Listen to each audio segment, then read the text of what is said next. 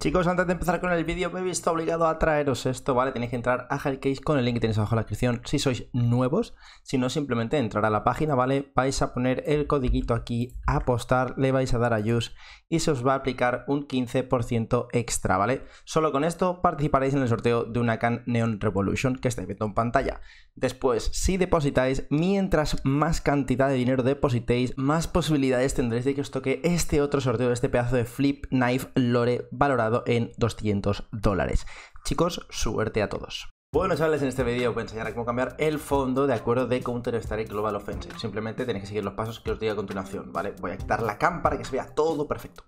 Bueno chavales, pues lo primero que tenemos que hacer, podemos descargar cualquier tipo de vídeo, ¿de acuerdo? Cualquier vídeo lo podemos poner. Eh, yo, por ejemplo, voy a seleccionar este, ¿vale? Este que es muy típico, lo habréis visto un montón de veces.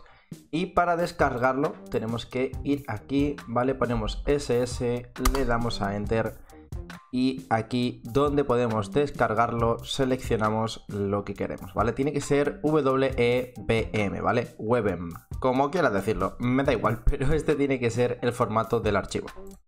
Lo descargamos.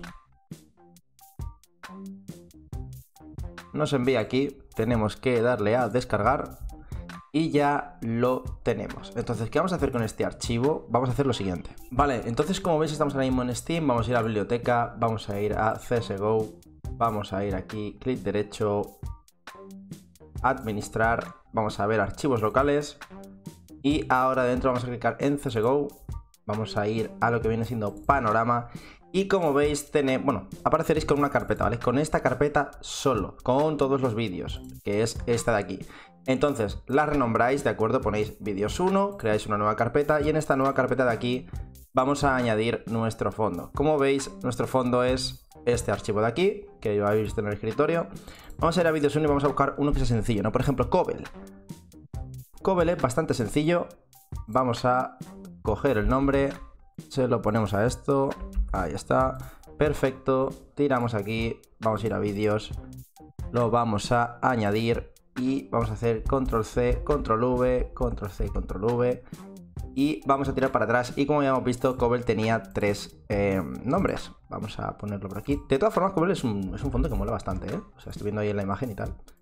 Vamos a poner aquí este lo pegamos perfecto vamos a ir al otro.